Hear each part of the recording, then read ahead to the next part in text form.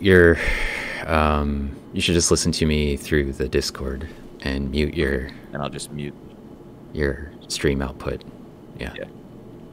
Otherwise, it'll get like a three second or 10 second delay or whatever it is. It's a little confusing. Right. Yeah, that makes sense. You could leave it on for the second uh, to make sure that the sound's working, I guess. Because it's streaming now, so Streaming now. Okay. Yeah, it hasn't shown up in my. it, it takes a little while before the announcement gadget pops up. So And I'll post a link in our Discord as well, saying that you're live. oh yeah, Micah says it's working, so he's in the he's joined and he can hear you and me. Oh, great. Oh, he says you're quiet, so I can actually fix that. Um, let's see. Keep talking. All right. Uh, now I'm freezing up. Uh, keep talking. Uh, uh, sorry, I've, I've only been up, you know, for like an hour here. So it's still alright. early. Yeah. I chugged some coffee and, uh, and got some quick breakfast. Well, uh, it's eight o'clock here almost, so at night. So I've been up all day. Yeah. So you're on it. 9 a.m. for me, you know, and this is an early morning. I don't. This is I- my. I, don't usually uh, don't usually start work until about 10. So this is a it's a very special day in more than one way. Eh, great. Uh, yeah, I'm. Uh, this is like my busy teaching day normally. So I teach. I have four classes on Tuesdays and Thursdays. Um, Wow, that's quite the load. yeah, but like uh, the the um, one of the classes today was just like an exercise. So it was like a lab. So students just did the the exercise. So it really wasn't a lot of um, like work on my part. And one of them was reading a paper, and one of them, my PhD student actually taught the class because it's like another exercise for that class. And so, and then in the last one, I actually had the grad students do presentations. So for today, I had almost no workload for being like four classes. It's like uh, sort of dreamy uh, it's all student based, right? yeah, a lot of it is. So I, I did have, I mean, the discussion for the paper I had to prepare for, but like not to do a presentation or anything. So, um, Nice. Yeah, I- So- I used to be a teacher, and I remember those kinds of days were always great.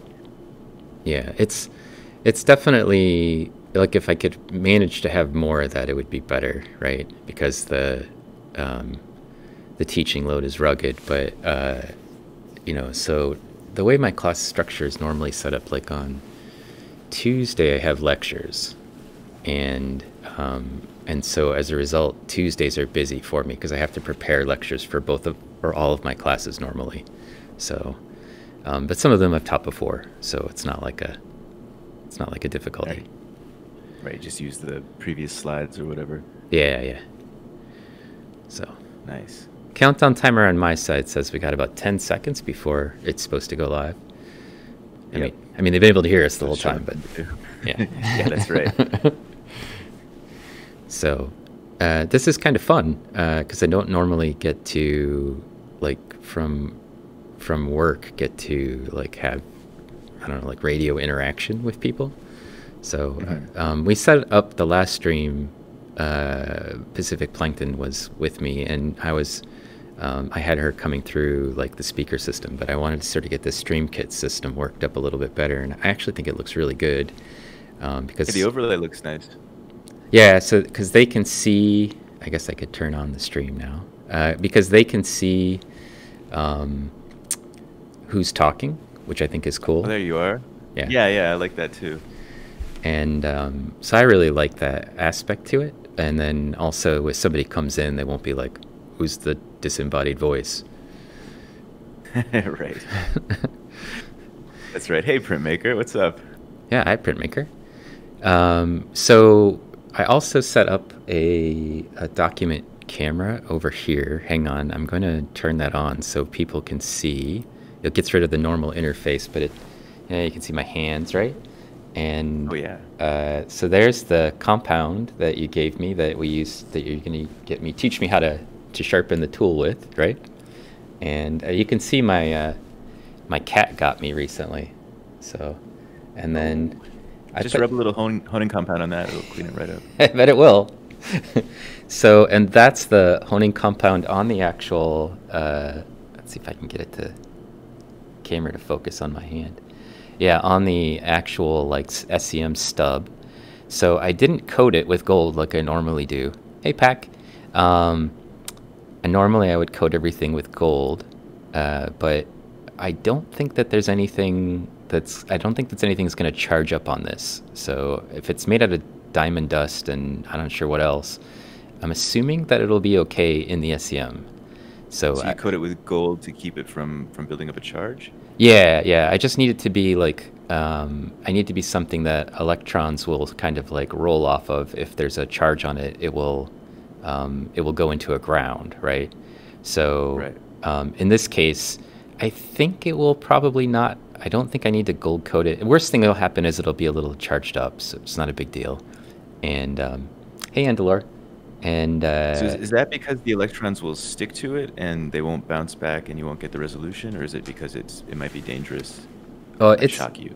No, it's not dangerous at all. Um, what what happens is the um, the SEM really is detecting the the amount of electrons that are sort of hitting a sensor, and if you have um, like a bunch of electrons that build up on parts of the um, surface because it's non-conductive, what will happen is uh, those areas will look really bright.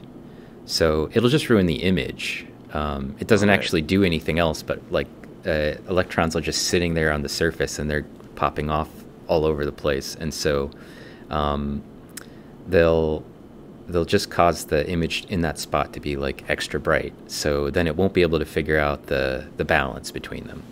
So I see. um, and then this is the actual tool that you sent me. And um, actually, I might want to move that a little. So I just smashed it onto this tape. It's carbon tape. And I think I might want to move it so that it's not sticking off the edge. So there, it's just basically the carving tool. And I put it so the channel side is down. So if you look at the end on, oh, that's where you broke it. That's Um, right. so It's it's a powerful moment. yeah. Uh, you you went too. You got too strong. That's Um, right. But you can sort of see the the carving edge of it is. You know, I think normally you would carve with the U channel up, right? Yes, So- exactly. So yeah. it- it's pulling the wood out of whatever. And in this case, that U channel, I put it down because I want us to be able to see. Oops, I put it under the radio piece there. Um, I want us to be able to see the tip of it, which is where the actual blade is. And um, I took some pictures of it with just my camera before we started, but um, I didn't think they looked that great. But I think we can actually, I can kind of zoom in on it. So if I'm not touching it and it's sitting on the table, it might actually look okay with my document scanner. Um, so you can kind of see the blade. Uh, when I took pictures of it with my camera, I did it through my stereo microscope, and um, uh, it had rust on it. So just let yeah, I think know. it's been sitting in a drawer for a while. Well, I'm gonna put it in an SEM drawer here in a second. So, Alright. um, so do you do you treat this before you put it in? Do you have to like degrease it, or do you do anything to it, or do you just pop it right in? um, other than coated in gold, that's usually what I would do Mhm. with stuff. I don't do anything else. So Alright. um, it's just gonna go straight from here. Um, I've got the. Actually, let me see if I can. I'm gonna turn off the document scanner for a second, and. Uh, oh, I've got my phone, so I can kind of showcase what's going on over here. Um, but it's kind of hard for me to do it because uh, I have to use my hands to use the SEM, and I also need my hands to hold my camera. So uh, let's see. I've got a little droid cam I can put on, and I gotta get the uh, IP address right, so hang on. Okay. I've been burned by that IP address before. Maybe I can just prop this up a little so you can kind of see it.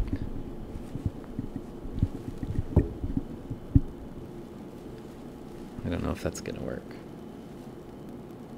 I need tools. I've got this really nice hat Pacific Plankton knitted me, so I'm gonna maybe use that as a prop here. There we go. So you can kind of see what's going on over there. Uh, and then I'm gonna switch to the droid cam. So they won't be able to see who's talking for a second because I didn't set this up right. But this is the SEM right here. And um, this is the uh, the camera, the infrared camera that's looking into the chamber. It's the chamber cam. And um, so I can just pull open the drawer. Oops. First, I got to make sure that it's completely unsealed. Which I'm not sure if it is. It was supposed to be. Hang on.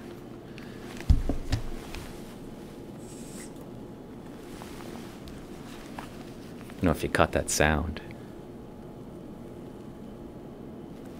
I didn't hear anything. Okay. Well, that's all right. It's a. It's. I'm always accused of doing ASMR streams, so. Um, so I'm gonna have to take off my headphones. I won't be able to hear you for a couple of seconds while I put the stuff on a stub and put it in the chamber. It won't be long, but um, let's see. What do I want to do first? Let's jump back to this camera, so you can see me, and I'm going to just put this on in the seventh spot. And a little bit of this compound on.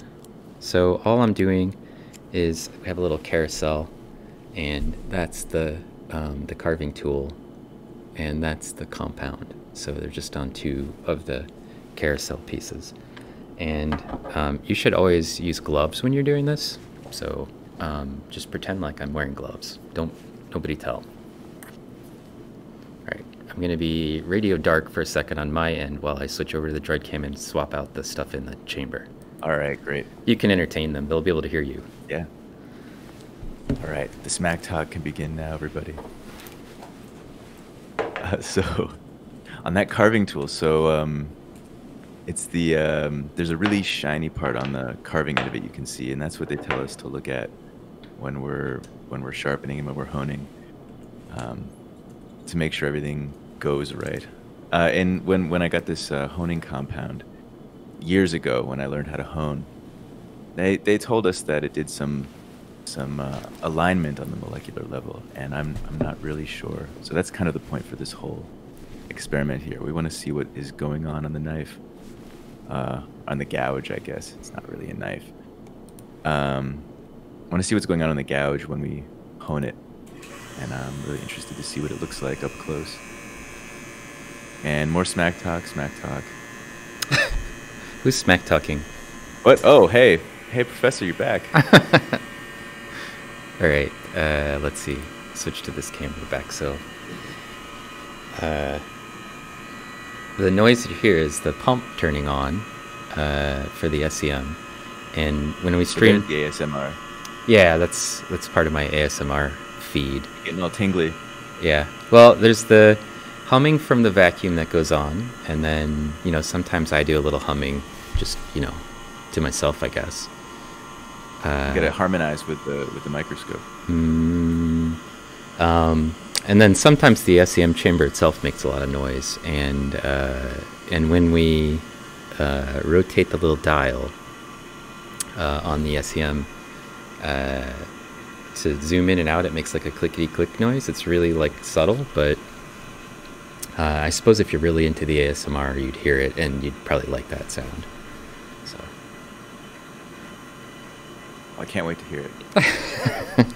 well, I'll try to keep the. I'll put the mic right next to it, so you can kind of hear the. It's like a tick tick tick tick tick noise. It's uh, it's just me zooming in and out.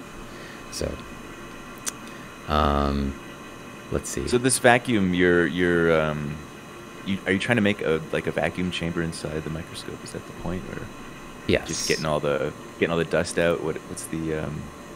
Uh, the SEM runs the inside of the chamber always runs under a vacuum, under a very st- strong, like you know, negative atmosphere, and the reason it does that is because the the way that it sees, if you'd like, is that uh, electrons. So, oh, I can do this. Uh, I think from where we are. Hang on. Um, uh, let's see. So I can let me switch back to the Droid Cam. So um, up at the top of this thing is a, an electron gun, and it shoots uh, electrons down through this column. And the column has magnets, and the magnets are used to sort of focus the electron beam. And all of that has to happen in a vacuum to get down to the chamber, which also needs to be in a vacuum because if the electrons hit anything before they get to your sample, they'll get deflected. And then you won't be able to get any electrons, or you won't get them where you want on the sample, right? So the general idea is that get everything out of the way of the electrons by creating a vacuum. So that's the sim- simple way of thinking of it. And and how how do you I, guess how do you isolate the electrons like um how do you get a beam of electrons, right? Is it do you have to use um it, you don't use the magnets to do that, right? You use uh, I'm, I'm trying to think about like I mean, as I understand electrons, right? They're they're attached to, to protons and neutrons, maybe. Uh, how do you how do you get a beam of electrons that are independent of one another, right? Do you use uh, electromagnetism to rip them off? What do you do? Do they do you order a, a jar of electrons from the science shop? They send it to you. You plug it in. Like, how do you how do you isolate them into a beam? So uh, if you look at the little diagram that I put up, uh, they can see it now. I think. Hey, tiny dragon on fire, and Millifu.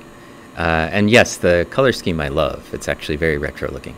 Um, so if you look at the little diagram uh, that I put up, I think you can see it, right? Am I on the right thing? Yeah. Yep, um, so up at the top, there's like a little round cylinder that says electron gun. And in fact, what's going on in there is there's a filament, like a light bulb has. Uh, ex- and it's actually almost exactly like a light bulb. It's got tungsten as the type of metal that's in there and they run a very strong current through it. And when they do that, what happens is it creates a cloud of electrons around the tungsten. It also heats up. So um, there's a temperature aspect to it, and then there's also like a, just a charge aspect. And um, it creates like a, a cloud of negatively charged particles that are sort of swarming in that little chamber. And they have a negative charge because electrons have a negative charge if you think back to, I don't know, high school chemistry or whatever. And sure. Uh, on the diagram, there's like a red ring that's just below the electron gun that says anode. And that just is a fancy science way of saying that piece has a positive charge. And you can see from the electron gun coming down towards the anode are a bunch of rays coming out. And that is actually supposed to represent a beam of electrons that are being pulled towards the positive charge because they are negatively charged particles. And the strength of the anode determines sort of the acceleration of the electrons. And then um, some of them will be, you know, captured by the anode, but most of them will pass through in this sort of beam, and then they go into the magnets. And the magnets are just lenses. They they just focus the beam and keep it basically tightly um, in a tight little cloud. So it's like a in a in a typical light microscope, everything would look exactly the same except for you'd have a light source up at the top, and then you'd have a series of lenses. And in my microscopes, everything would be the other way around because the light in mine is a transmitted light microscope, and the ones that I normally use. So the light passes through your specimen. So um, the light source is usually at the bottom in my microscope, and then there's a series of lenses and condensers that um, focus the light beam through the sample. And it's doing the same thing with electrons. So the electrons are basically f- sort of flung down with these positive charged components and magnets until they hit the sample, which is just the in this little uh, sketch is the ant. And um, is is that ant going to be okay? No, that ant is not okay. uh, oh boy because everything has to happen inside a vacuum. And it turns oh, out, yeah, you need a little spacesuit for him. Yeah, if it were Ant Man, uh, he might be okay. He'd be so toast. No way. He he might be okay because he has a spacesuit. Um, but his eyes are exposed, I think. Well, no, he- his mouth is exposed. I think I think that he can make his little. He has a little thing that comes down over his head when he gets get little. that right. Depends on the costume. Yeah, yeah. Well, anyway, uh, right. So electrons will hit the ant, and um, what they do is knock electrons out of the ant. So um, we're using our electron gun to shoot at things that are on our stage, and um, their entire purpose is to basically uh, knock electrons out of the specimen, right? So they come flying out of the ant uh, as a result of being hit by electrons that are coming in. And then there's a detector, which is our secondary electron detector. So um, there's also another detector that's right above the ant that's back in the direction of the beam called a backscatter detector. And um, the backscatter detector actually shows you differences in density, and the secondary detector shows you topography. Um, So you get these two indirect kind of depictions of it, and then you you um, like merge them. You can. Um, actually, you can get them independently or you can merge them. It's really, um, it's not uh, an either or situation. So it's, uh, uh, electrons are being captured by both devices. So, um, or they can be, I should say. Because mine usually I don't have the secondary, I have the secondary detectors fixed. It can't be taken out. It's always going to be there. But uh, the backscatter detector on my instrument can be pushed in or out. So it doesn't necessarily need to be activated. And because I mostly look at diatoms and they're made out of silica and it's always silica, I don't really care about the differences in density because I I can it's just the same material. It's like, you know, looking at looking at a uh, you know, all the same stuff is not going to look very different with respect to density. So if I were looking at something like a metal, then I might want to push it in so I could see, like, if you had two or three different kinds of metals, they would, you know, like nickel and copper or something, then uh, like a rusty carving, say. it could work. So um, we're going to try it. We'll, we'll push it in and we'll see what happens. So All right. um, right now, what I'm going to do is hide my little graphic uh, so it's not blocking everybody's field of view. If I can figure out where it is. Ah, it's this one. No, that's the wrong one. It's this one. Ah, so you should be able to see.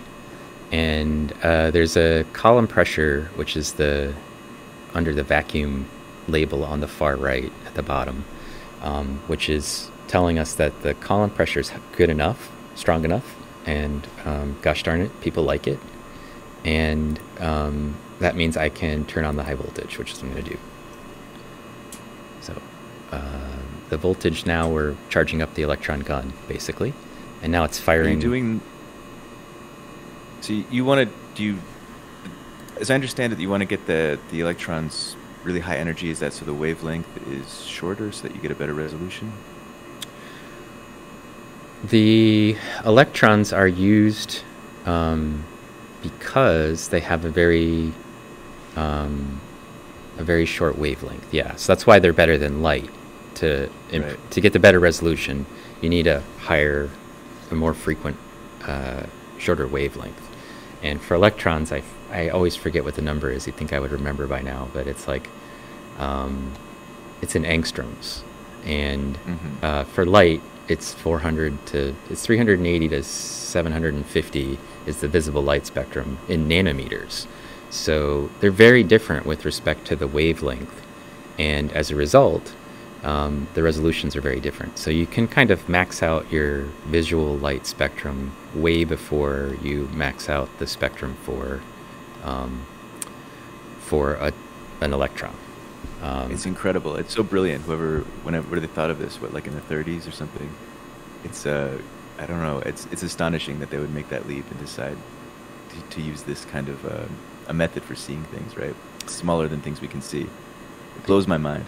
Yeah, and um, I think uh, Pacific Plankton asked this question one time, like, what was the first thing anybody ever stuck on an SEM? And so I went and looked for it, and they were looking at just some dirt, basically. So not super exciting, but um, uh, but they didn't get a great picture, but they got a picture, right? So and then once you have it, they just they've improved the technology constantly since then. So um, so you can actually see uh, if I put it. There's a bunch of different speed settings which you can't see me changing, but which I am. So right now, it looks really grainy because I've put it on the fastest speed. And so the image looks crappy because it's scanning very quickly over the subject. And what that lets me do is move the scanning electron microscope very quickly and it will redraw the image very quickly. So think of your old fashioned uh, TV with a tube and it scans across the screen very rapidly and it makes a picture. It looks like it's moving, right? So that's what this is doing. And so when I click, it moves and rebuilds the image. You can see the image. Good news, everyone. You can see the image. Sorry, that's. I don't know if you heard that. Um, the uh, the followers noise came in my headphone, caught me off guard. Oh no, I didn't hear that. uh, so you don't have to hear it, which is good. But I have to hear it, which means uh, when it happens, I always am like. Ah. I can Um, pretend to be freaked out when you are. well, they can't see you, so. Um, Well, they can hear me go. Ugh. that's true. Uh, but they might think you're just saying goose if you do that. So. Oh yeah, that's right. Uh? Um, so this is uh, what I speed setting that I would put it on if I wanted to move around and look at stuff, right? And then when I actually want to like take a picture, I slow the speed down, and you can see the beam. That's the actual beam moving across the this the screen as it builds the image, and um, and then I can focus it on my good days anyway. Uh, there we go. So you can see a lot more detail. The slower the beam goes, the more detail you get, right? So right now it's on speed four, and when it passes by again, I'll drop it to eight. So Those little craggy bits, the rust. yeah, that's the rust. Um, so now you can see like speed eight, it's it's drawing a lot more slowly. So if I tried to move the screen right now, you'd get like uh, you know like a little sliver of it drawing and then nothing else, right? So not good. Um, but uh, you can see the kind of crusty stuff on the surface. That's all the rust. And this is just the topography view. This is not the density view. Um, so if you're watching the uh, below me, right down here, directly below me is a little window that looks into the SEM, so you can see what I'm doing uh, when I move things around. So um, what I'm going to do is raise up the um, the carousel, which is what the sample was on, and um, get the specimen a little bit closer to us so we can zoom in on it, basically. And it's just like a magnifying glass. Like the closer you get, the better resolved your image is, right? Up to a point. Um, so when I move it up, um, and I need to speed it up a little so you can see, uh, Yeah. we're a little closer. And also now when I focus, um, I can get even closer. So, you know, like we're not anywhere near the, the limit of our instrument. We're actually just at about 77 times magnification right now. So you could do this on a stereo microscope. Uh, you don't need an SEM. How many angstroms is that? Uh, I don't know about angstroms, um, but it's uh, our field of view, like fully field of view across here. Um, if I move this up, you can see it's three millimeters um, from one side of the picture to the other, and also from the top to the bottom. So there's like a one millimeter bar right down there at the bottom that Yeah. shows the scale. And um, but I can give you an example of like, uh, let's see, I'm gonna gonna So get it's like it. a billion angstrom. It's a lot, a lot of angstroms. So we can zoom in though, uh, you know, on just one of these little specks of rust. I love how it looks when you zoom in. I love the uh, distortion it gets before it before it resolves. It's super glitchy, right? It's this like It looks great. wave of glitch. Uh, so if you were, I I really should probably add that ASMR tag because uh, if you were coming for the audio ASMR, and then I also throw on this crazy visual ASMR, right, with the glitching and the black and white lines moving through it, and then crazy textures, right? So yeah, It's doing it for me. yeah, well, it's good. So um, that's just a little piece of rust that we're looking at right there, right? So um, you know we can. We're not anywhere. Again, we're not anywhere near the maximum resolution of this. We're still at. Um, we're at 700 times, so about 10 times bigger than we were, and um, uh, and normally when I'm looking at stuff, I can get um, you know a typical good picture for me can happen at uh, like 130,000 times. And we're at, right now, I bumped this up to 3,000 times. So just for clarity, uh, if I stuck a diatom on here right now, you wouldn't be able to see it. It'd still be too small, or you'd be able to see it, but you wouldn't be able to resolve much of it. So, Mm-hmm. um, but Would we're just be a little little denizen of the the rust pustule. Yes, it would just be sitting in here basically. So the the whole field of view is about 30 microns now. So you'd be able to see diatoms at this size, but um, you know the the uh, the detail is just basically starting to catch right here. We're at 7,000 times magnification, so like the high detail is really just sort of kicking in. So um, I also usually when I start off, I do some sort of like um, tricks to fix the magnification when you get really zoomed in, and um, I can't do all of them right now because they take a long time to kind of uh, to manage, and I don't think it's necessary uh, for what we're looking at, right? Because we're just looking at we don't need to be this close. just I'll give you an example of where we are. Uh, we really don't need to be this close though. So let's see. I'm gonna change my beam intensity a little. Um, so that's just gonna. It's like drawing with a a bigger nib pen, you know. Um, so there's a little bit of bleed around each pixel now. Now you're speaking my language. I try. I try. Okay, so I'm gonna zoom out so you get a sense of like wh- like where we are, right? I'm just gonna do it really slowly. So this is this little spot we're on, right? It, getting a lot of that uh, glitchy ASMR, visual ASMR. Um, It's so just like that movie Powers of Ten. the the cursor won't move, so I'll just back out and leave the cursor where it is, and then each time it redraws, we're kind of scanning outward a little, so you can get a sense of like where are we? Because you probably Oh, yeah, lost this it. is like the um, the Perseverance rover landing in reverse. right, exactly. That looks like the the Jezero crater there. we're, we're doing the backing out instead of the zooming in. yes, uh, and we're going into outer space. Yeah. Uh, so right now, our field of view is 300 microns. So still very, uh, very zoomed in. And my mouse hasn't moved, so we're still in the same position. So this giant mountain range that we see to the north and the south um, are pieces of rust, right? So Yeah, it looks just like a topography, like um, like planetary. Oh yeah, yeah. That's actually one of my favorite things about uh, the SEM is that the surfaces of things look like landscapes. You know, they look Yeah, like these really it's- crazy landscapes. Like we look like we could be looking at a planet surface right now, right? Yeah, absolutely. I love the the how fractal like existence is, right? It's it's a, a thing that I've been in, including in my work a lot lately and thinking about a lot. Just that kind of the macro to micro and the, and how fractal just everything is, right? Yeah. So now we can actually see we're looking at a blade. So there's that. Yeah. so that's actually the you know the, The the weirdest planet I've ever seen.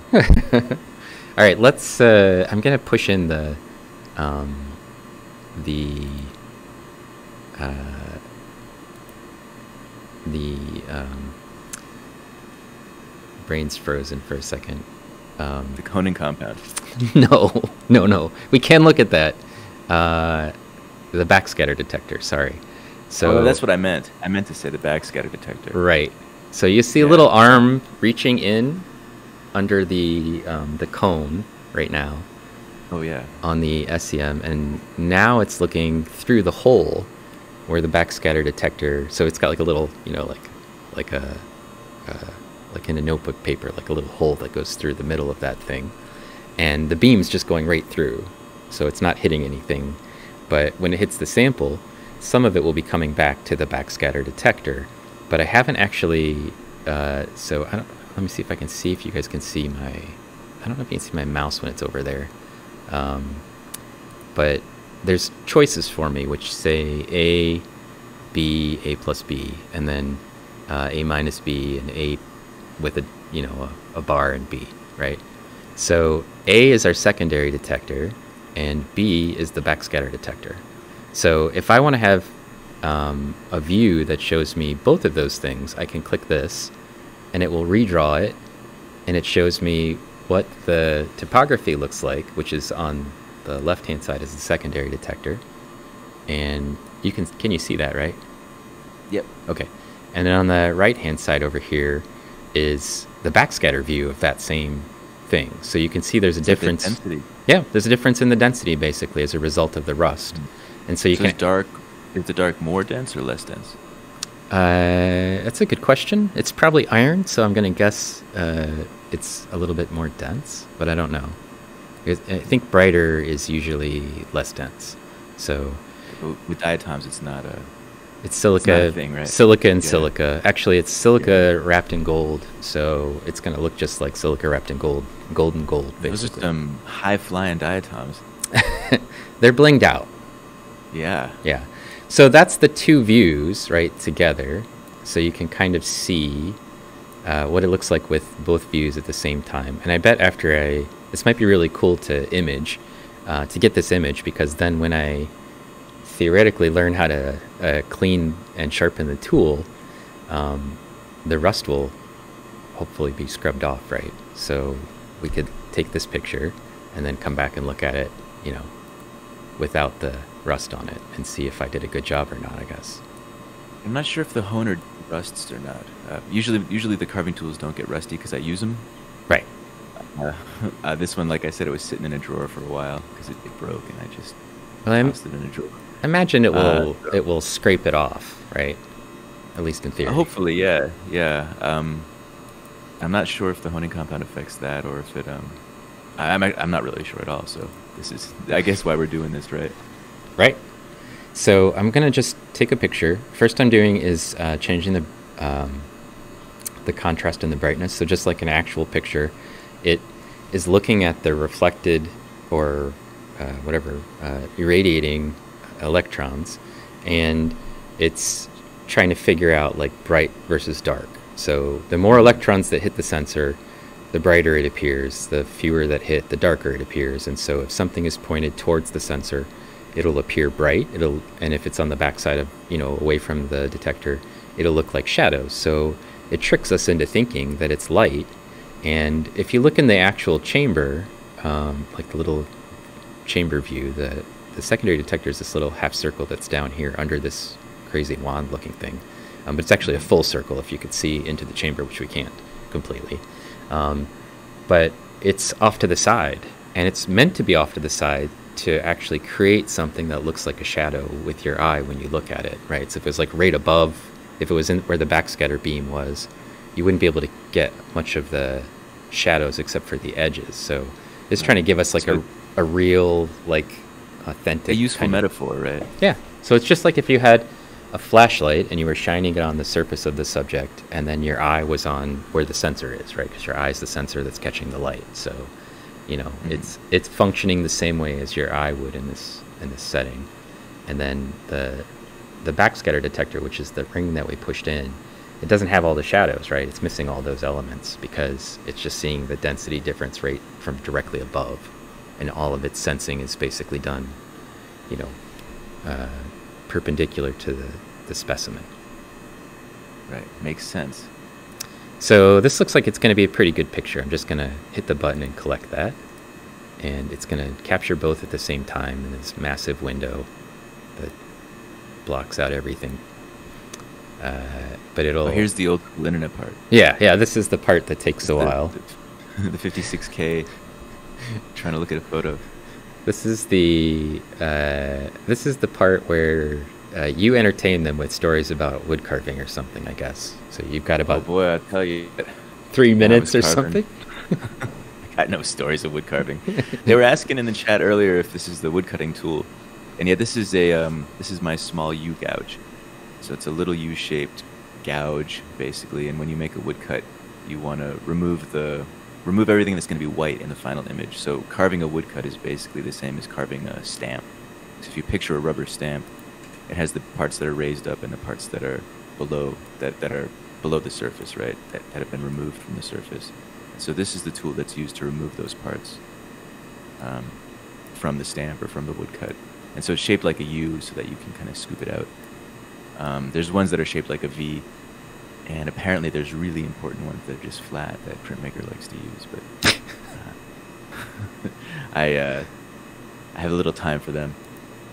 You don't like the Hey, flat ones? Uh, the flat ones are okay, you know. We were talking about it in the stream the other day. Um, uh, my uh, my mod my moderator printmaker who's in the chat right now, she found um, found some some description of printmaking tools online, and, and the the knife, the flat one, was described as the workhorse. But I think this this U gouge is the real workhorse. It's the so real it's just a deal. small little yeah, it's a small little U-shaped piece of metal, um, and it's it's basically yeah, you just you scoop out all the white all the white areas in the final image and leave the black, hmm and uh, and so this is um, yeah I you can kind of see the um, if you look at it with the naked eye you can kind of see the the sort of it's not a smooth U right you see like the kind of um, flat planes that kind of build up hmm that curve right. Mhm. Um, In here. Yeah, you can see on the microscope there, but um, but all this, uh, all the bumpies. I mean, I guess all of that is rust, right? But there's some It pock is. marks. hmm So these are little uh, scours, probably from previous times when you sharpened it.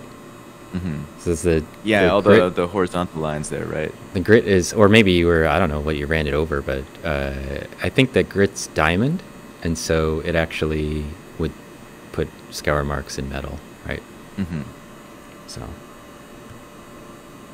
It looks a lot. Uh, the the edge on the right there looks a lot rounder than I imagined it would. it's pretty The not sharp. scale, right? Yeah. Yeah. Well, this is an older one too. Yeah. And um, yeah, a lot of people they they take a um, like a stone, like a water stone or something, and they sharpen their tools. But um, I'm really bad at it, so I use the honing compound that we're going to look at, or that that you have there, um, which is kind of um, a quick and easy way of of kind of halfway sharpening things. But this tool has never really been sharpened since I bought it. Um, and thankfully here, the carving tools um, here in Taiwan are really uh, inexpensive and they're good quality. So it's it's way less time and frustration just to get a new one for a couple bucks. hmm So I don't usually um, don't usually hit them with the sharpening stone, just with the honing compound. So I mentioned that I can kind of do uh, a variety of things with the the um, the image. One of the things I can do is split the channel 50-50 and then have it draw both of them at once, which is kind of cool. So it's doing that now. So I'm also going to get a picture like this, um, just so we have it. But that is half topography, half backscatter, and uh, because it's got the you know cool metal uh, that's in there, I don't usually take pictures of metal, so um, it actually adds a lot of crazy depth to the image. I don't know if you can tell, like in here, uh, it just looks insanely like the the the density underneath the topography just makes it look like insanely 3D. So Mhm. Yeah, it, it does look uh, like you could just reach out and touch it, yeah. popping off my screen. So I'm going to fix the brightness a little bit, and then I'll just take one image like this, and then we can go look at the compound, the honing compound. Um, do you know what's in this honing compound, by the way? I don't, but I'm pretty sure Printmaker does. Oh yeah. who's uh, in the chat right now. Uh, yeah, um, I'm I'm what you call a I'm a I'm a carver, and printmaker is um, an actual technical printmaker. You know, she knows all of the all of the materials and all the ins and outs. Yeah, it's the green one. Um, so I, I, I, just kind of I get what works and I use it. I, I don't um, I don't know I, I don't know all the, the technical specs on it. That's why printmaker sticks around. Uh, She says uh, if it's green, it's most likely a combination of chromium and aluminum oxide, okay. uh, and it may or may not have diamond dust depending on the brand. Yeah. I would guess it has diamond, some kind of diamond From dust in those it. uh, from those marks on the tool there. Well, something's got to be able to scrape the metal, but uh, probably the Yeah, chromium and the uh, aluminum probably isn't going to do much, but um, chromium might. Okay, so it's now adjusted for both of those. So I'm just going to collect that picture, and we get to you know sit and watch it again while you tell stories about carving. Um, Oh boy. or I can I can come back to the the chat and I can say uh, hi to Tiffany SD and Estrella and uh, Mama Bon Bon and uh, Giftinoid, Gif-. There we go. And uh, everybody else who's hanging out here, Wanta Mac, So it looks like we have uh, Ursa Crafta. And you're doing some sort of a stream later this month with Ursa, right? That's right. Yeah, Ursa and I are going to be doing a dual stream, and uh, we're actually going to be using images from you in the electron microscope and also from Pacific Plankton. Um, and we're going to be doing a draw along. So we're going to make a, we'll make like a, a sheet with some little critters on it at a at, at different uh, scale, I guess, right? Pacific Plankton's uh, microscope microscope scale, and then your electron microscope scale We'll put a kind of a, a sheet up of different things, and then people can choose uh, whatever critters they like, and we'll do a draw along. It should be a good time. Sounds cool. Yeah, and um, we'll be uh, probably donating some money to ocean conservation at the same time. Excellent. Yeah.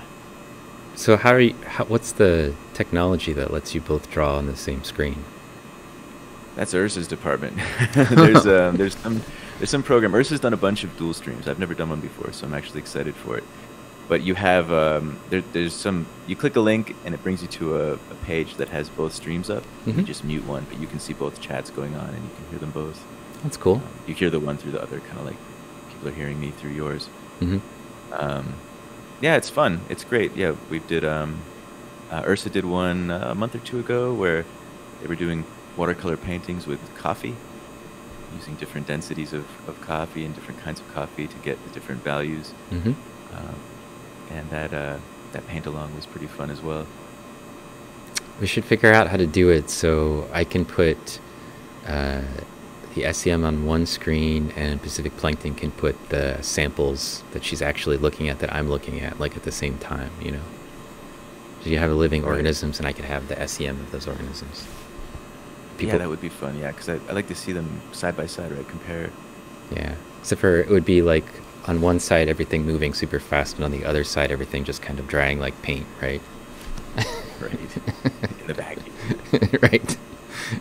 This uh, downloading the image sort of sensation, or I guess she could have the living organisms, and then I could stream the the fossil material, which is what I usually look at from my light microscope. So we could have living and dead side by side. Maybe that would be a little bit Mhm. a little bit better. I don't know. Okay, so this is uh, backscatter plus secondary, and the important part from this um, this image that you can see is this is the part where the you know the cuts right. So that's the Yep. blade part, and it, it does look pretty dull to me.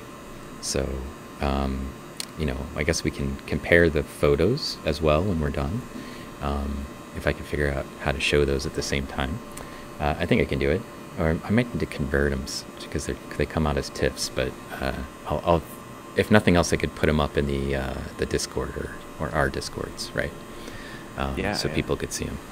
So And the point point two was to send you a dull blade so we can see how it looks before and after. Right, right. So let's scoot over to, uh, let's see. So this is the middle of this stub, and if I click on this button, it will take us immediately to the compound. Because I, you know, I have control of that. And uh, so this is the dark stuff that you're seeing is actually the carbon tape that it's stuck to and the bright gray and dark gray are the compound itself. So we can kind of scan in and look at it here.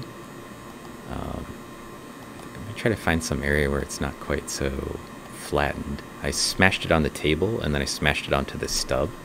So it's gonna have sort of a smashed look, I guess. It doesn't look like it's charging very badly, considering I didn't gold coat it or anything. But if it's filled with aluminum and chromium and a little bit of diamonds, uh, it'll probably be fine. It probably will not need to be uh, coated at all. Oh, When you coat stuff with the gold, do you have like a use a brush? Do you have a spritzer? What do you? How do you coat stuff with gold? Do you dip it? I wish I had a gold spritzer. yeah, that would be great, huh? Uh, it, I think probably people would join my lab and then just spritz stuff with gold. So um, I would have to hide it probably. Uh, let's see. So You can see it's charging a little, just a little bit. Um, when I hit stuff, you can see there's a little bright. Sometimes when it goes over it with the beam, it, it turns kind of bright. Um, let me see if I can showcase what we use to sputter coat things with. I need to Butter code. not butter, not butter, sputter. It's butter. It's butter. Yeah, that's a cool word. Sputter code. Yeah. So, uh, did I lose the droid cam? Is that what happened?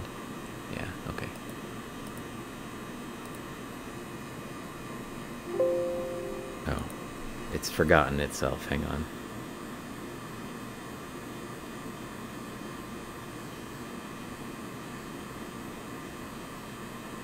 Technology's fun, and then it stops working right. Supposed to make everything better. Yeah. I suppose so. Well, I guess without technology, this would be a really boring stream, right? well, uh, also, I wouldn't have upside down pictures. Okay, so that little thing over there that looks like a gumball machine is uh, actually the sputter coater. And Hmm. it has a little pump, which is the uh, cylinder that's coming towards us with a red thing on top of it. And then yeah. the pump pumps out the bell jar, which is the part at the top that looks like the gumball dispenser part. And uh, that's where you put the sample. And at the top of it, like the top of this one, has a piece of metal in it. And then you put a charge through the metal, and it makes a plasma cloud of whatever the metal is. So you could use silver, copper, you can use um, gold, you can use platinum, you know, any metal. Basically, it will. It's it's a really thin, like foil sheet of the metal, and you put a charge through it, and basically it turns it into a plasma cloud, and then things that are in the chamber get electroplated with whatever it is that you put in there as the metal. So for ours, I put in um, I put in uh, gold, but I do have silver. Uh, I think it's silver palladium or something like that. Um, what kind of gumball machine did I grow up with? Um, I don't know. I mean, it's a little bit more cylindrical than, than ball shaped, but uh, I don't know what else it looks like. So that's what I go So I suppose the um, I suppose the university frowns upon you using that to make uh, Valentine's gifts for your wife. Uh, well, it's my lab. They probably wouldn't know any better, All right, well I won't tell. but um, I don't. I don't know if she wants something that's like uh, cheaply Butter-coated? cheaply butter coated. Yes, in gold. Um, she might want the real deal. So, actually, I don't think my wife likes gold. To be honest, uh, I think she's if she's liking gold, it would be like a white gold. You know, I don't think. I think she, maybe she thinks gold is kind of tacky. So Hmm. she's like a silver and like amber and um, that kind of like you know more earthy aspects than See, if I was given something that was like regular gold, I, I'd think eh. But if it was something that was uh, sputter coated with that thing, I'd be swept away. well i could um, and i have sputter coated uh, like dragonflies and butterflies and we've looked at all of those things before in my stream um, so at least potentially um, you know i, I could uh, you know like i could make her like a gold plated butterfly i'd feel bad for the butterfly though i mean if i had if I had to kill it and then wrap it in gold. That does sound a little bit like a James Bond villain, if I'm right. being honest. So, I captured and killed this butterfly for you. Isn't it romantic? well, also I've entombed this dead butterfly in gold. Uh, right. So no matter what, it's kind of. So it does look like it's charging a little bit, and so the picture won't be great uh, if I'm zoomed in on this. But I just wanted to see if we could see anything, and it just looks like a powder basically. So Gold spider head. Thanks, honey. She probably wouldn't mind a spider head if it was like a little jumping spider. Those are cute. I mean, I think they're cute. I might have a twisted sense of cute, though. I don't know. Uh, so we can't actually see any diamonds.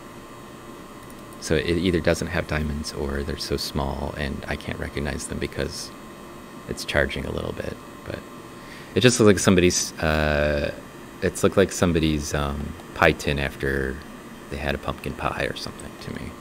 It's not. It's not super exciting. It sounds delicious though. I mean, pie sounds good right about now. Man, I haven't had pumpkin pie in so long. That's what happens when you move out of the U.S., I suppose. That's right. The Twitch, the one thing that Twitch has done for me is made me hungry for things I can't eat. My entire live stream is people coming in talking about Mexican food. Oh, Now it's pumpkin pie. sorry. Oh, yeah. It's not even 10 a.m. and I'm already hungry for pie. Well, you could make it. Um, No, don't have it. They don't have graham crackers. No. They don't sell graham crackers. Get my parents to mail me some, I guess. Yeah. That's weird. What's- life like without graham crackers? You don't know what you're missing if you never had them. I guess. All right. So uh, at this point, we've taken a look at the honing compound, which wasn't super exciting in my opinion. It does look like a little landscape, so there's that, uh, and it looks Mhm. kind of cool with the backscatter in.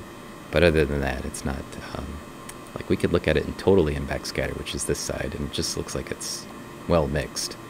Um, I think that's actually something you probably want, right? You want it to be kind of well mixed. Um, that's 50 50 view right there, which is where I had it before. So, um, let's see. What what we have to do next is sharpen the blade, right? That's right. So I'm gonna let's see. Gonna oh, pull. Oh, yeah, Micah, it's Wednesday here. Yeah, Wednesday morning, almost 10 a.m. I'm gonna pull the backscatter detector out just because I will forget about it if I don't, and turn off the backscatter channel. I can tell you how many times when I was showing people, oh, here's the backscatter detector and here's what it does, and I turn on the backscatter sensor, and then the next time I turn on the instrument, I forget that I have only the backscatter detector on and I haven't pushed it in, and so it's like the screen is black, and everybody's like, can't see anything, I don't know what's wrong, and then I think I've broken the machine, and then I realize, oh, it's just I haven't turned on the sensor that it, it needs to see. Okay, so It's almost always user error, isn't it? yeah, yeah, yeah. It it almost I'm- always I find myself cursing my technology, and then I realize it's just my own stupid fault. yeah. yeah. So I'm going to hit the home button, which sends our sample back down to the bottom. So I can take it out. And that noise, you, I think you can hear that noise, right? The motor. And yeah, Uh, so there's some ASMR for you, and then the blade will come back in. And um, I need to turn off the voltage, so it's just going to go black for people. And then um, I'm gonna I'm gonna vent the actual uh, chamber, which means there's a hidden around the corner is a tank of nitrogen, and nitrogen gas is just inert gas. Like 80% of our atmosphere is nitrogen, so um, you know it's basically clean air, and I'm blowing it into the chamber just so that it's not pulling the air from the room in. If that makes sense. So Sure. I don't want the dusty, you know, whatever hair mites and uh, pollen and whatever else might be in here that's blowing around inside the ventilation system in the building. Um, all the pumpkin pie dust. pumpkin pie dust. Yeah, you name it. I don't want it in there, No. and uh, if I can help it, so I use this super clean nitrogen gas that just pumps into the chamber, and so the little red bar is the atmosphere in the chamber, like normalizing. And until it does that, I can't open the chamber door because I'm not strong enough to rip off, you know, like a super strong vacuum. So I have to. That's what you have grad students for. they're not strong enough either, actually. If you put all of them Get three or four together, of 'em? no, still not strong enough. And some of them are pretty. I got some pretty strong kids in my lab, but um, it's not going to work for them. So, it's uh, it's superhuman. Okay, so uh, while that's going on, I'm going to let's see. What am I doing? Can I do this again, or did it lose my droid cam? Oh, it's it's just looking at the hat. it's doing a great Great. it's figured out which way up is on its own. That's my phone for you. And then So we need a, a shout out for Pacific Plankton's hat, right? yeah, it's it's doing yeoman's We need a work. Cameo. Yeah, it's uh, the hat's actually was keeping It's my head warm. Yeah, a little drunk, but uh, it's sorted now. And then you entertain them. I got to take the headphones off because I can't reach the, you know, screwdrivers and stuff. And uh, I'll be back. More smack talk. Right? yeah. Yeah. Whatever. Yeah. So uh, yeah, Ursa, you can't you can't send me seeds. No, I've I've I've thought my way around this. You know, there's one uh, restaurant here every um, every Thanksgiving that does pumpkin pie. I don't know how they manage it. So once a year, once a year, get some pumpkin pie. But aside from that, I just uh, I don't know, drool, yearn. Let's see, what's he doing? He's got a is that a little tool poker? So he's poking the cylinder, everybody. I'm going to give you the scientific rundown on here. You poke the cylinder with the thing, and then you get the thing from the thing with that. Put it back in front of the microscope so that it can see it. And uh, and this little wiglet's doing that's just to um, to sift everything out so it's nice and even, right? Oh, hey, professor. Hey. I was just doing the um, super scientific rundown of what you were doing. Oh, okay. So Yeah. there's my uh, battle scars with my cat. Yeah, the battle scars there. And mine, mine. Uh, when I started doing woodcuts, they used to look like little U's and little V's because of the shape of the gouger. And you Oh, accidentally stab yourself when you're carving. Ooh, yeah. ouch. When I was a, when I was a student, I would have little U's and little V's all over my hand. So Not for many years. this is the piece that we had in the um, in the old SEM there, and uh, this little stub is just the pin that's used to hold the stub, you know, to hold it into the chamber, and then it's got the carbon tape that's on the top that the tool is stuck to, and I'm gonna use my uh, subhuman strength to rip it free. So now you can see the actual The strength of four grad students. uh, the strength of half of one man. So, Half of an undergrad. so normally you would use it like this, and stab yourself with this part right here. yeah, Uh, exactly. So you can kind of see the. Uh, I hold it right. Uh, there, you can Yeah. kind of see the, the end of it. Yeah, Right. so the bottom of the U faces down. Yeah, and this was the part that was covered with all the rust right here. So that's the part. Then it looks kind of rounded in that picture that we took. Yeah. And this is a little piece of a belt of yours, apparently, or someone's. It's an old scrap of leather. Yeah. It's a belt it's for a- sure. just- That's a belt hole. Yeah, it was a belt. Yeah, definitely. And then uh, it's got some. You bees- rub the honing compound on it, so that's the green stuff. It's already got some on there. Is yeah, that I, I preloaded it for you. is that enough? Yep. Okay. And then well, I, I think it's enough, but Watch Printmaker will probably tell me in the chat that it's some somehow wrong. well, I mean, But we'll say we'll say it's enough. what what am I supposed to do next? Okay, so you question. want to Does put it the need to be wet? No, no, no, Okay. not at all. I brought some Um, water because I wasn't sure. Uh, you can just sip the water. Mm, It doesn't need to be wet. it's been in a it scientific instrument. I'm not going to sip it. It should be dry. Well, if you bombard the water with electrons, it's probably safe to drink, right? It's in a petri dish, so you're not supposed to drink out of labware. Oh, jeez. oh. All right. So the dry tool, you want the the convex side down, this side down, like as if I was carving. as if you were carving, yeah. And you want to pull it um, Towards sort of me. from front to back, so away from the carving end. towards So the carving, like like the this, carving tip, the carving tip is front, so you want to drag it backwards. like this. Yeah, like that, basically, yeah. And And just just drag it backwards. I do it about twenty to thirty times. You can do it pretty quickly. do I need to You don't push? have to push down too hard need either. to push. Just kind Not of. too hard, just a little bit. What about with my subhuman strength? Yeah, that's good. Use uh use probably twenty five percent of a of a postdoc. okay. Yeah, I don't know if I can gauge what that is. you It- got it. it It, feels- looks about right. feels I like can I'm gauge it pretty something. well visually, so it looks good to me. It feels like I'm doing. You just something. drag it. Yeah, you just drag it back. It doesn't it doesn't feel like too much. Just drag it back. uh, Yeah, maybe maybe. Well, this is kind of a small a small um, landing strip here, so maybe thirty times.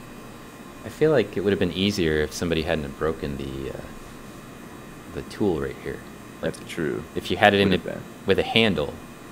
Yeah, with the handle, it's a lot easier, but then it wouldn't fit in the microscope, would it? That's true. It definitely would. Well, I probably would have had to break it, Yeah. or somebody would have. I probably would have gotten one of my undergrads to break it. Get three or four of them together. one of them probably could do it. I don't know, man. I, I, you know, it took me quite a lot of strength. I'm pretty tough. Do you know what you were carving when you broke it? Um, I want to say something like rocks. because you know the the image of what you're carving, you know, it, it's um, it's psychologically at least it feels harder. Like if I'm if I'm carving something soft like water, it feels a lot easier. But if I'm carving like coral, it um, you know, I, I use a lot more strength. So Is that true? no, not at all. You just have like a a a push, like how hard you push, and then that's it. Like it's always the same if you can help it. Uh, it depends on what you're doing, right? If you're doing some really fine detail, you want to be a lot, you want to finesse it a bit more. But if you've got these big open areas, you can just kind of go for it. Um, and if you're in the if you're in the beginning of the carving mark, you can go a little harder because there's more. Like if you if you slip or go too hard, and the tool kind of skips off, there's a lot more room for error. But if you're getting right up to the edge where where the line is supposed to stop, then you want to kind of slow it down and use a little bit less force. And when you're using um, less force, you can kind of rock the tool back and forth, and it and it helps it go with it with less pressure. But uh, it's there's not a huge difference in the, in the pressure used. I might have just been feeling particularly aggressive that day. or maybe just little bits of damage at a time build up, and then too much coffee. could be, yeah, that could be too. That's a simple. Tiffany uh, Tiffany SD asks me what kind of foods do I eat. I eat all kinds of foods. Taiwanese food is excellent, and there's um, you know American food, of course, uh, mostly what I cook. But uh, How many McDonald's are by you? How many McDonald's are by me? I think there's one. I think there's one, but um, but I haven't been there. What about Starbucks? Um, yeah, there's Starbucks is everywhere. Starbucks is, and we have um, Louisa Coffee is kind of the local version of Starbucks, which is is better and cheaper. Um, and like the Vietnamese food here is amazing because we have um, a large population from Vietnam in, in my city, and uh, yeah, all kinds Indonesian, Japanese. Yeah, eat so much. It's only the Mexican food that, that we don't have, and that's the that's sort of the my biggest lament. So there you go. Uh, you got to carve with the grain. oh, I Um, do. try That's- carving, yeah, not not against it. It might be easier if you go with it. Yeah, that way. Huh? It's a. that looks pretty good. It's like giving me uh, carpal tunnel. You get carpal tunnel? Is that like a real thing that could happen to you? Yeah, yeah, absolutely. I wear a wrist brace. Does that stop it? Yeah, yeah, it helps. It holds the bones in so that it, they don't get pushed apart. Mm. Um, like sometimes I'll carve for uh, I've I've carved for 12 hours a, di- at a time before, so you gotta like you gotta you gotta protect your hands. How- Um, how and I taught myself how to carve uh, how to carve left-handed as well, so that I can kind of switch back and forth to to take some of the stress off. Are you better left-handed than right? I'm better right than left, but um, but I'm I'm it's it's getting close to parity. Do you um, do you find that the left hand you're right-handed? Yeah. Do you find that the left hand is better for power and the right hand is better for control? Uh, so actually, that's interesting you say that. The left hand, um, I so when I started carving lefty, I started teaching myself on the the big open areas where you can make mistakes, and I would just power through, right? Mhm. And so now when I have those big areas, I I use the left, um, just because uh, I want to save the right for the more the more finesse parts, um, and so I don't know if uh, if I'm more powerful with the left, but I I do the the more powerful areas typically with the left. Although lately when I've been streaming, there's a camera in the way, and so um, I do I do lefty on more finesse stuff because I don't want to bump the camera with my right. I'm just trying to zoom in a little so you can actually see the surface. I suppose I could also I got a I'm using a document camera so I can kind of do this without Ursa, now you got to remember my dark secret in that pie recipe.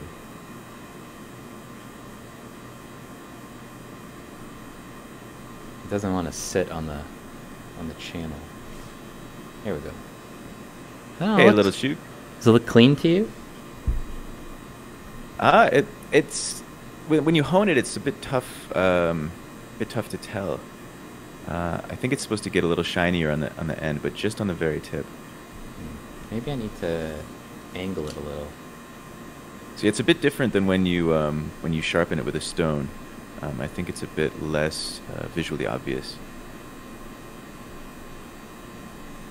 All right.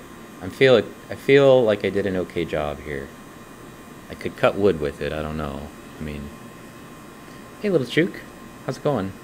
I'm uh, I'm putting dents in my finger trying to sharpen a piece of metal. Hmm. I can feel a little bit of the grit on the actual blade, but it's not bad. All right, so I'm gonna just mount it back the way it was. Uh, let's see if I can. Yeah, so the part the part that's really important is just the very the very edge of the blade, right? The very the very tip of it. All that other stuff with the the rusty bits um, wouldn't affect too much the carving. It's mostly the where it gets really shiny and then where it gets really really shiny um, on that that left edge. Yeah. Well, I think I got it. It looks shiny all over to me, except for on the very sides, which I didn't try to clean. And you don't need to do the sides. Okay, so let's see. I'm gonna do back to hiding this thing.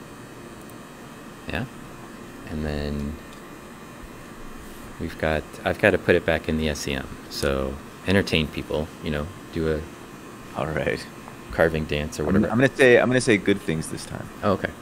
Uh, Yeah, talk talk a little bit about um, so you know the carving aspect of it seems like uh, one of it's it's sort of like a technique thing, but two it's like a mindset, right? Because you have to kind of think in negative space a lot more, Mhm. and then the third part, which is like I think maybe I could train myself to carve, but I don't know that I could do the like you draw first, right? So you have to kind Yeah, of yeah. you have to be good at drawing, and then you kind of have to be good at all the other stuff. Well, and you have to draw it backwards, so it's a double it's a double reverse, right? Because Right. when you print it, it comes out the opposite direction that you drew it in, just like a stamp. So when you draw the picture, you have to um, you have to compose it in reverse. You have to think about it how it's going to look in in the opposite. So like, you go ahead and take off your gear. so um, yeah, when I draw it, I use a mirror. Um, so like I'll draw for a bit, and then I'll check it in the mirror to make sure that um, to make sure that the composition is okay and make sure it looks it looks good. And actually, using a mirror if you're an artist is great, even if you're not doing woodcuts, because you can see all your mistakes when you use a mirror. Um, even if you're making a painting or something, right? You look at it in the mirror and you go, "Oh man, that proportion is way off. I I didn't see that regularly." So it kind of gives you a fresh perspective. But when you're doing the woodcuts, you draw it backwards, and that's the one kind of reverse thing you have to do. And then when you're carving it, you have to think about it backwards as well. So it's a it's a reductive process. So instead of the mark you're making being a, a positive thing, it's it's a it's a negative thing. It's like doing um, doing a chiaroscuro drawing where you're using white chalk drawing on black paper or something like that, removing um, all the white. And if you want to have a black line in the final picture, you have to make two carving marks, one on either side of the line. So you carve like a white channel out on each side, and then the part that remains in the middle is your one black line. So it's um, it's quite a bit different than just drawing, if that makes sense. Well, I only Um, caught a little bit of it. Thank you, thank you to Drop Bear Antics. Um, I guess I guess that's a compliment. what'd they say? Somebody thinks I sound like Jimmy Fallon. Oh, okay. Um, so if you mean if you mean hilarious, uh, then then thanks. yeah, I'll take that. Can you sing? No, no. Because I think Jimmy I- Fallon sings, right? Sometimes. does. no, I I I sing in uh, in KTV, which is the Taiwanese karaoke, where you get like your own private room with just your friends there. If I get if I get uh, three or four tall boys of beer, uh, I, I might um, I might I might sing a couple tunes, but it's not anything anybody wants to listen to. But thankfully, by that point of the night, nobody will remember. So So you miss uh, you miss the pie and the Mexican food. What about the Yeah. beer? no, the beer's fine here. Yeah, Right. it used to it used to not be. Uh, when I first moved here, all you could get was uh, Taiwan beer, which is um, kind of like uh, super light hmm you know, translucent, super super see through. But lately, the uh, microbrew thing has has picked up. Beer and coffee have gotten a lot better over the past 13 years. So it's it's the uh, it's mostly the food, the the Mexican food number one, and then probably like cold, feeling cold. I miss that. You're never cold. Not really, no. Uh, well, you guys have had like uh, very limited COVID, right? We've had yeah, we've had we had no local cases from last April through through the new year. And then we had a couple of scattered local cases happen, um, but they, they tamped it down. So everything here has been completely normal. Like all the businesses are still open, have been open the whole year. Schools. Uh, we have a gallery here where my studio is, and we've had openings every month with lots of people. And we're very lucky. But but people here, they had um, I think in 2005 they had the SARS pandemic, and that was pretty bad. And so the government uh, got really serious about preparing for that sort of a thing. And so so when COVID happened, they were ready. They were all over it. Hmm, that's in, weird. Uh, even in, in late 2019, the government here was was uh, working on it. A prepared government. You think that's Yeah, you yeah, think that's key? that, huh? You think that's key? I don't know. It seems important. that's a hot I- take. It's, it's it's served us well here. Yeah. Sorry for the controversial statement, everybody. I don't know. All right, uh, I pushed in the backscatter detector, and I'm going to set it to A plus B 50-50, which is where it was before. And then, uh, let's see. Now I'm going to find where we were. So got to go somewhere. Aha! So this is the end of the part with the blade, right? Mhm. Here's the blade. It looks like uh, all the rust is gone. Yeah, it looks less craggy to me. Uh, for sure. There's, uh, you can see if I go up to the part where I wasn't cleaning it. Um, here, there's some more rust, right? So Oh yeah, yeah. I totally cleared off that rust. I don't know if the bright color is because there's a little bit of the compound dust on the surface. Um, I'm gonna guess that's what that is. So if I turn off the A plus B and just go with this, yeah. So we get a nice clean view. I think the compound is like is like a fine powder that's like coated over the surface now. So when I use the A plus B view, like this view here, see how bright it looks? Yeah. And I think that's because there's a little bit of the powder on all of the surface. But you don't have any of the dark spots. Like we had these really bad dark spots right up here. Everything's really dark. So, uh, and then in terms of the actual like blade itself, um, let me get it in focus and then we can kind of critique what happened there. Because I'm not totally in focus yet. There, there we go.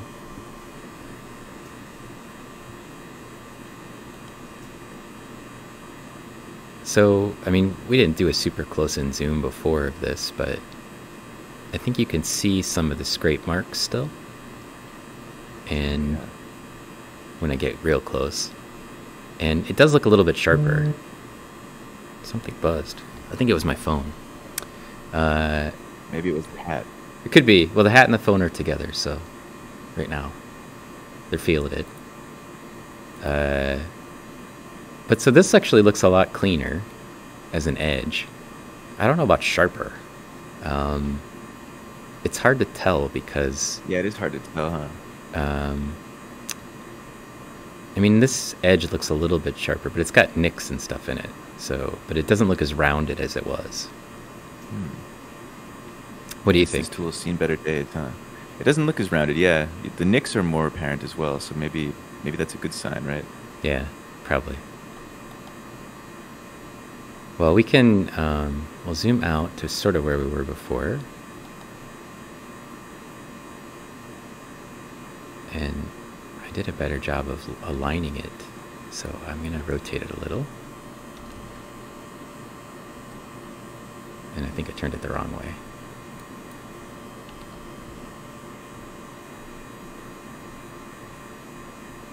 Let's go backwards now a little. And drunk drunk rotation. I'm just gonna keep turning it until it's kind of where I want it.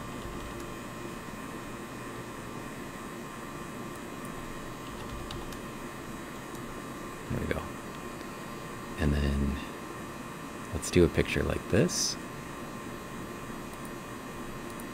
So I'm going to zoom right way into these things and try to get it some of this like super sharply focused first.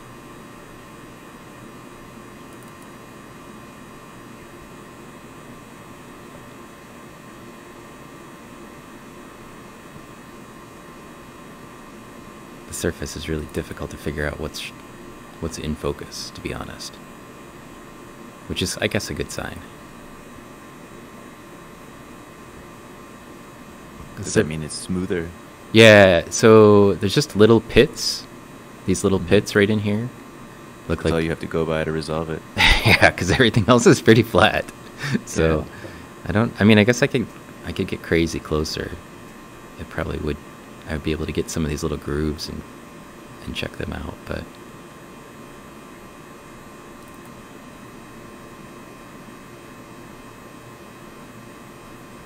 There we go. It's not going to get a whole lot better than that. So I think that's a positive.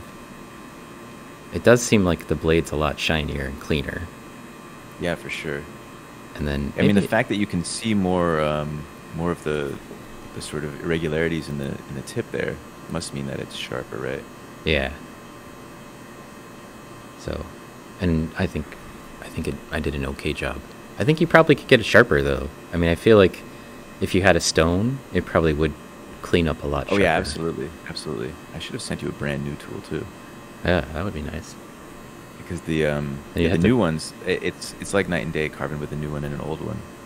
Um, but like I said, with the with the stone, like when you sharpen these, because they're they're rounded, you have to keep it at this consistent angle, and you have to kind of rock the tool back and forth, like left to right, as you're pulling it across the stone. Mm-hmm. It's um, it's pretty complicated um, technique to get it to work really well, to get it really sharp. Um, and so, like, I, I've, I've every maybe two years, I think "Ah, I'm going to sharpen a bunch of my old carving tools, so I don't have to go buy new ones. And I sit down and I start doing it, and then it just makes them duller and duller and duller. And then I think, ah, I would pay somebody five dollars to do this for me, and that's about what a new a new tool costs. So Yeah. uh, I end up just going, ah, forget it. I'm gonna buy myself another one. Well, I think that um, part of the reason the new tools probably work a little bit better is you don't have all those little nicks in the uh, on the edge. Yeah, they're not dinged up. and then I think that actually is, you know, causing some resistance when you're trying to to push it to carve it. Um, Mhm. So you probably need Yeah, a, like a whole new edge. You need to put a whole new edge on it, right, to get rid of all those Yeah. nicks. If you Yeah, really wanted, so. yeah.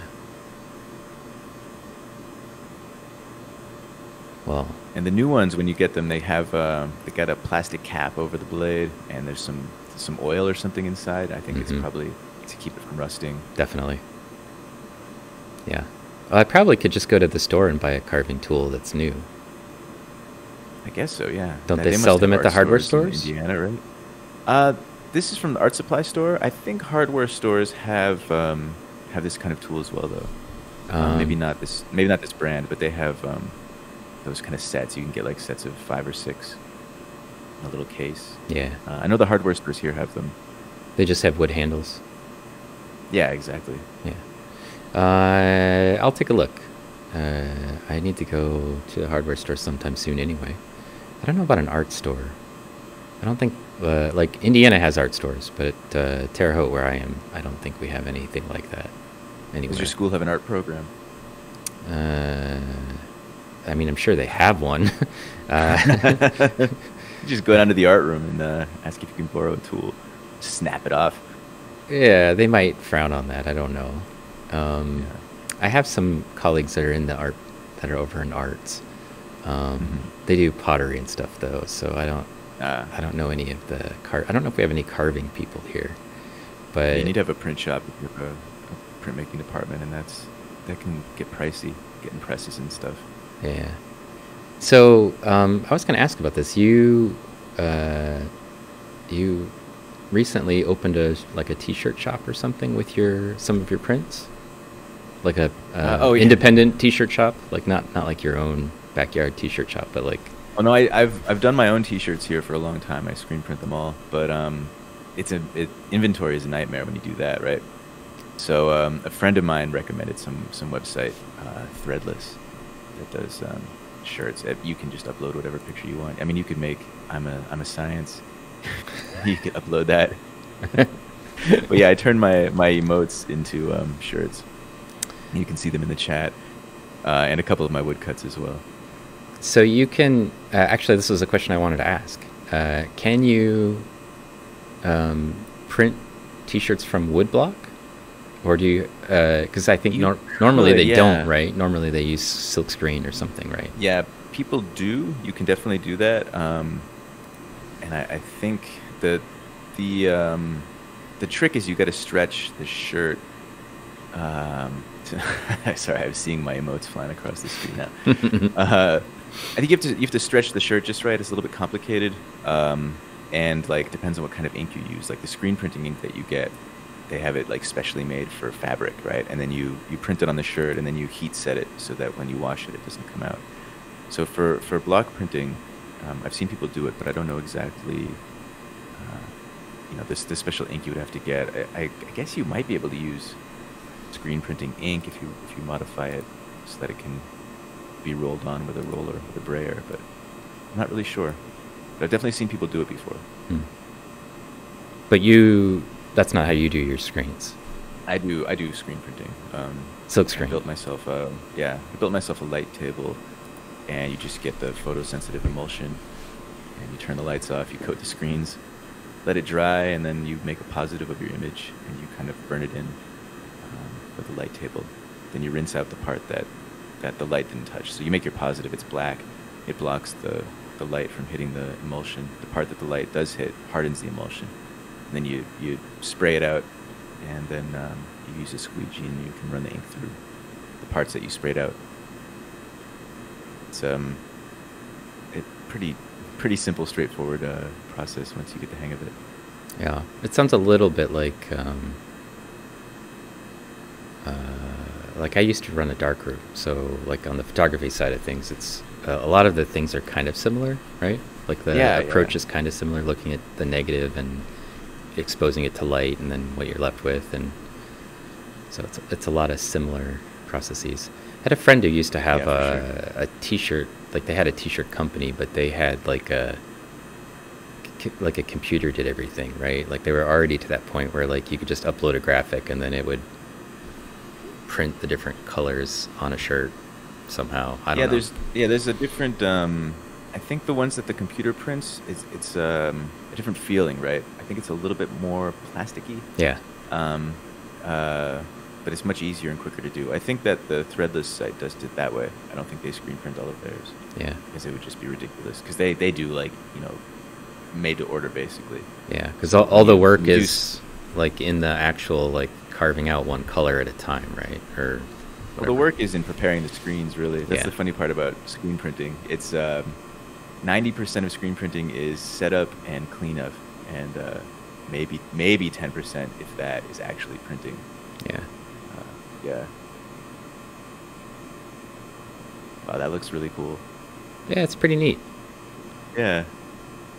It's uh, it's for me the SEM is like uh, it's it's my favorite part of work. Like I like to just come in here. I could just I'm in my own little bubble. I just and you get lost in um, in what you're doing and uh, you know it, we've been looking at this stuff for an hour and a half. It feels like maybe we just started to me. Like you know what I mean. Like I don't know how it feels like to everybody else, but from my point where I'm running the instrument and watching it take the picture because it builds it so slowly um, you just get used to that pace. And a lot of times when i'm taking a picture of something um, with the sem i mean uh, i it it just looks so stunning to me the first time i see it. Like i get everything in focus and i'm just like damn that looks stunning. And then uh, you know, I, it's hard to replicate. Like, you know, because it it's just building this image very slowly, and you're seeing all this detail, and just like whoa, and um, you know, when you see the final picture, sometimes it doesn't have the same feel because you didn't watch it grow. You know what I mean? Like you didn't see it just put these tiny dots in there, like a little bit at a time, and uh, and it's like watching film develop or something. It has a kind of a special feel to me. Um, It's like watching live sculpture, right? The, the machine is sculpting this thing for you. It's, Yeah, it's yeah, yeah, Slowly yeah. building it up, and then and there's kind of the anticipation of the, the final image as well. yeah, and then yeah, just it has so much detail. I'm always just like, whoa, it's just like crazy uh, seeing it, and then um, so Well, super exciting for me. Like, uh, and and it's especially nice to be able to uh, see you live in the lab because um, the time change, right? Like usually when I when I can see you live, it's uh, when you're at the home Yeah. the home microscope. So Yeah. this is uh, definitely a treat for me. Well, um, maybe I'll think about doing some night streams with uh, diatoms or something else besides pieces of metal that I've sharpened. Um, oh, this is actually kind of neat for me because I don't look at metal uh, and metal things, and I almost never get to use the uh, the backscatter detector because I don't do anything. I mean, this is the way this would look without the backscatter detector. You can't, you know, you can't see that coating and um, so it really does enhance the view. And those little uh, little notches or craters you know you can't see any of that detail anymore. And i could flip it back on so you could see what i mean right? All that's gone all this stuff in here just disappears and uh, and you just have like a you know like maybe it's a little darker or something but the grooves are still you could still see a groove here or there but Mhm. um, I don't know. It's a, it's sort of neat to have it as a, a thing we could see. Most of the time, I just don't put metal in here. Um, there's a guy in the chemistry department downstairs who looks at meteorites, and um, we put some of his. He had like a piece he didn't mind me gold coating. I don't know why we even gold coated. I guess because it was an epoxy or something. Um, but uh, he didn't mind me putting it in there for his students who were here. Uh, look, I was showing them how the SEM worked, and um, that was kind of cool to be able to like stick a meteor in the meteorite in the uh, in the SEM. Um, but yeah, most of the time it's diatoms and little organisms. That's where most of my, you know, fossils are where most of my time goes. Uh, sometime during the day we, we do like feathers and pollen and plants, flowers, whatever. But it's been winter, so um, we haven't had a lot of that stuff for a while. Um, but I'm hoping uh, to have a, a little bit more diversity in our selection. Um, Mhm. It's exciting. all yeah, that stuff. Meteorite sounds like fun too. Yeah, it's um, it's, If you're fast enough, you could put snow in there, right? uh, You need to run. It, they have a um, some scanning electron microscopes where you can put it has like a cold plate in there, and you Mhm. could put cold stuff in and it'll keep it cold, and then you could SEM a, a snowflake or something if you wanted to. Um, Amazing. uh, yeah, I I think probably the easiest thing to do would be like freeze a piece of glass and then have it land on the glass and bring it in. I could put it on the stereoscope. I probably could do that, um, but we don't have snowflakes anymore, so we're past that. Um, Ah. We're we're into. I'm I've switched to sandals for the most part, so we're at that point where I I've switched to sandals. So uh, and then it's sandals all the way around till like I, it starts snowing again, basically for me. Careful with open-toed shoes around that blade. Well, uh, I'm right now. I'm not wearing sandals, but because I'm I'm kind of dressed up today. But um, sandals would look weird with a, a shirt, you know, the, a real That's shirt. okay. You're a professor. You can get away with it. That's true. I could do whatever, really. I mean, Professor Zoidberg in the chat. what did they say, Professor Zoidberg? yeah, yeah. From uh, Futurama. Why not diatoms? Uh, anyway, so let's. Uh, I I guess that's what we wanted to do for today, right? Yeah. That was the plan. I don't know if you want to look at something Great. else while I'm here. Um, I could throw some diatoms in there if you want to look at them, but uh, you know. I would, but I have a I have another appointment coming up in a few minutes. oh, you were supposed to tell us. Uh, oh, in a few minutes. Um, Yeah, in a, in a little bit, a little bit here, but I, I have to. You um, you were supposed to tell us about your interview, how your interview went. oh, Uh, yesterday. and- it was good. Yeah. You didn't. my my uh, language skills held. They held up. I, I um yeah they held up they held up well. I managed to describe everything I needed to describe, and uh, most part understood all the questions. So yeah, did you have nice. Did you have occasion to talk about the business goose?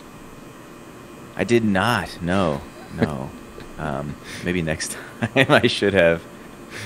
Uh, Yeah. Next time. All right. Well, uh, I guess if that's that, we'll we'll end Yeah, it's actually a shame. I, I should have kept my schedule open because I would actually love to look at some diatoms and stuff. But Well, maybe we'll do another night stream, and I can have you hang out while I talk about things I know something about. yeah, I'll just be in the background going, whoa, whoa, whoa. I'll be your hype guy. Uh, That's fine. I could probably use Yeah. one of those. Although I think usually Pacific Plankton does a pretty good job of hyping me.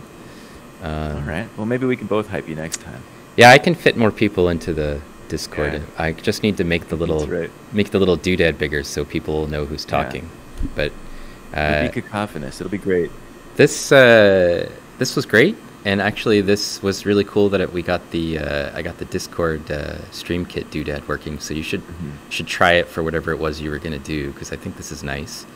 And yeah, it looks really good. it was easy to set up, and also um, it, it shows a little icon if you want, and whatever else, right?